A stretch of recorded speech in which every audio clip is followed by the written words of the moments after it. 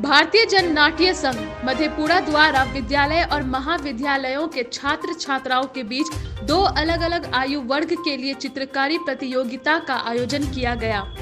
इस प्रतियोगिता में जहाँ 10 से 17 वर्ष के बच्चों के लिए बिहार के लोक पर्व और पर्यावरण की सुरक्षा कैसे करे का विषय रखा गया, जबकि 18 वर्ष से 21 वर्ष के लिए गांधी और आज़ादी तथा भारत के किसान रखा गया।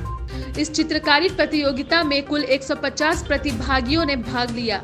प्रतियोगिता के बाद इप्टा द्वारा सांस्कृतिक कार्यक्रम और पुरस्कार वितरण समारोह का भी आयोजन किया गया, जिसमें कई विद्यालयों द्वारा नाटक, गीत आदि प्रस्तुत किए गए। हमारे संवाददाता मुकेश कुमार की रिपोर्ट।